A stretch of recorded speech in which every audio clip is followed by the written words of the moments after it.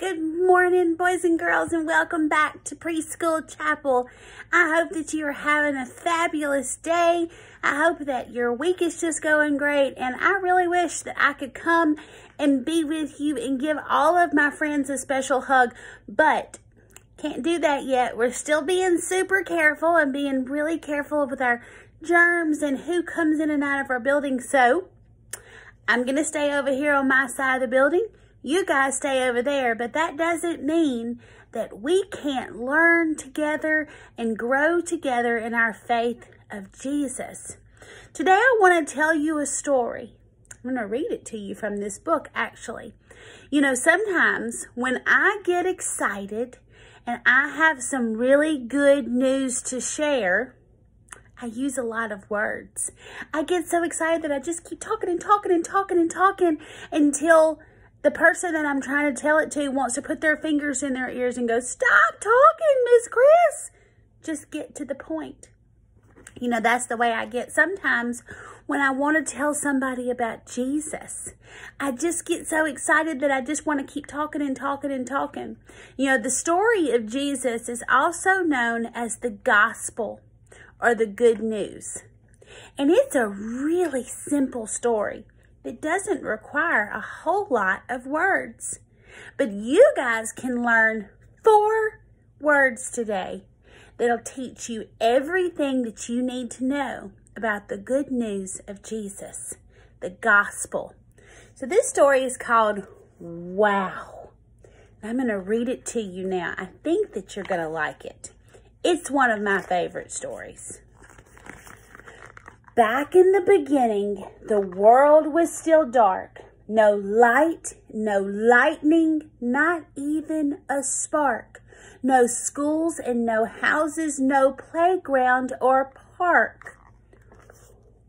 Wow. That's our first word. Then wow. All God did was say, let there be light. He called the light day and the dark he called night.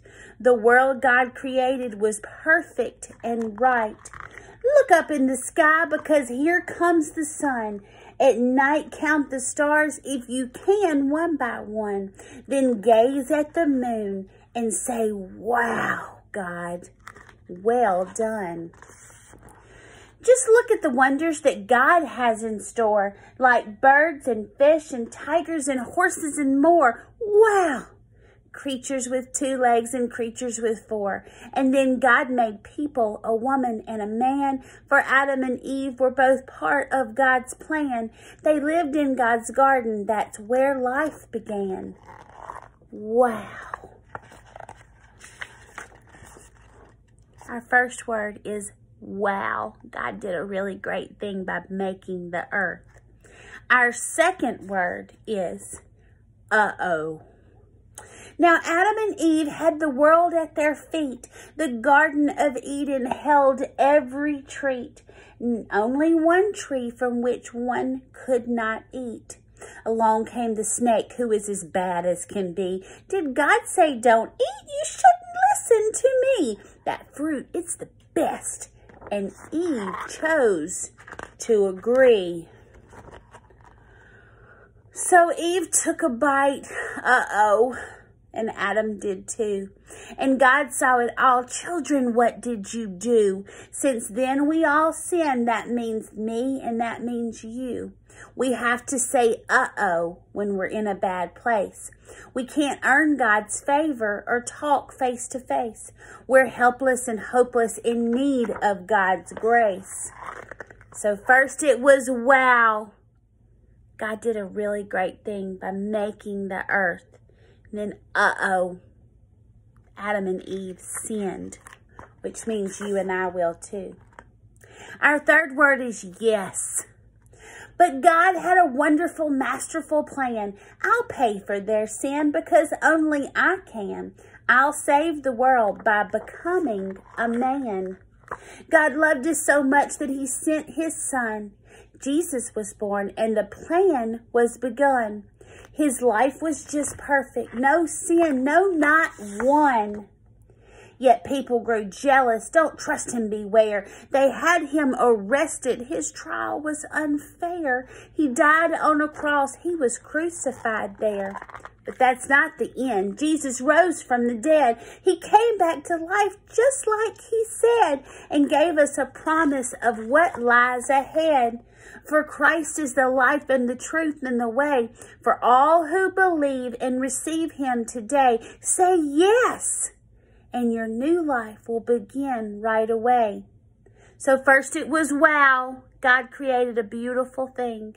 Then it was uh-oh, sin messed it up. But if we say yes to Jesus, our next word is ah. Our life is in Jesus, our very best friend. He'll always be with us right up to the end, for we have the Spirit He promised to send. With Jesus beside us, there's nothing to fear. No matter what happens, our Savior is near. Then when we're in heaven, He'll wipe every tear. We'll join all the angels in heaven to sing. All praise to the Father and Jesus the King, the ruler of heaven who made everything. No matter what happens, Christ lives in your heart. Ah, what a great gift that you get a fresh start. Now no one and nothing can keep you apart. So first it was wow, God made a great thing. Then it was uh-oh, but sin messed it up. Then it was yes to Jesus. And then it's ah, it's a great gift, a fresh start.